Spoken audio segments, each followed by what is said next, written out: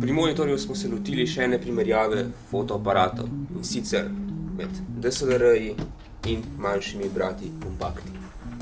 Kaj se bolje obnese? Je vredno šteti več denarja za DSLR?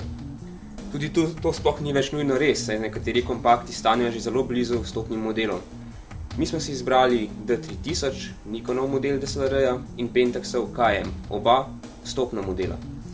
Med kompakti pa zmogljivega uh, Panasonicovega Lumixa LX3, Nikonovega bolj zmogljivega kompakta S640 in še mešanico med DSLR-ji in kompakti Olympusovega EP1, ki združuje elemente DSLR-jev, kar pomeni, da lahko izmenjujemo objektive, a hkrati ne vsebuje prizme in optičnega kokala, tako da smo omejeni na ugrajeni LCD in ostrenje preko kontrastne zaznave.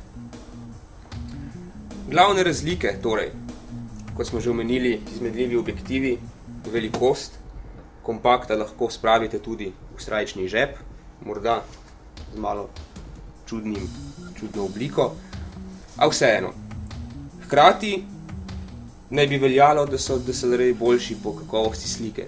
To tudi seveda velja, zaradi večjega tipala, boljših objektivov, čeprav kit objektivi vedno ne zadostijo apetitov, ki jih imamo ob nakupu.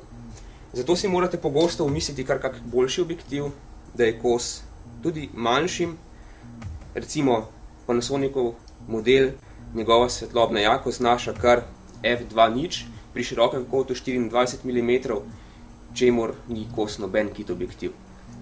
Če si umislimo podobno, svetlobno jako za DSLR za primer, je velikost objektiva skoraj da primerljiva s celotnim fotoaparatom.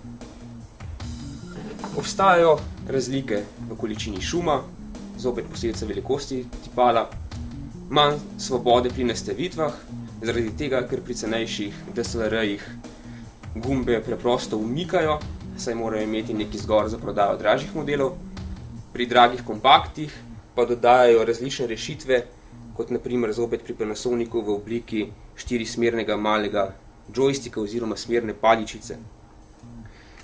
Omejeni smo tudi pri nastavitvah zaslonke, predvsem pri zapiranju zaslonke, saj pri kompaktih pogosto znese le f8, medtem ko objektivi pri DSLR-jih pridejo do f22.